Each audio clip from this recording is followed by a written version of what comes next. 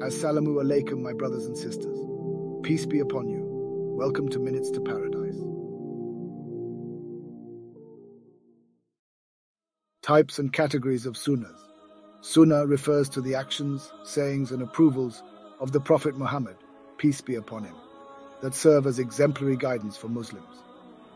There are various types of sunnahs based on the context and manner of the Prophet's, peace be upon him, actions. Here are some common categorizations.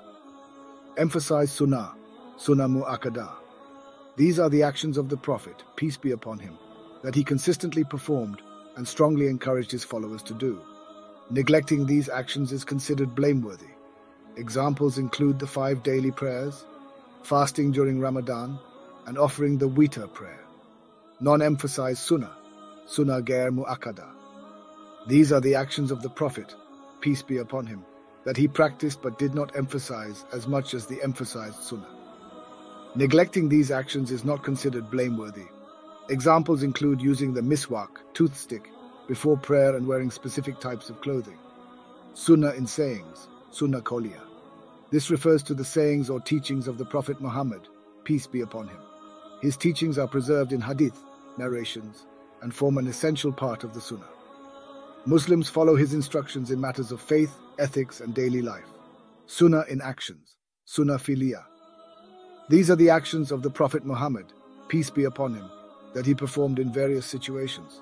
For example, the way he prayed, his manner of giving charity, and how he interacted with others. Sunnah in approvals, Sunnah takririya. This refers to the actions that the Prophet Muhammad, peace be upon him, witnessed from others and did not disapprove of, indicating tacit approval. While not directly performed by him, his acceptance of such actions carries weight in Islamic teachings.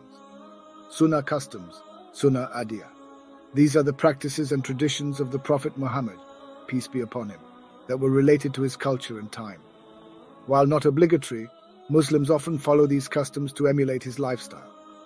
Guidance Sunnah Sunnah Huda.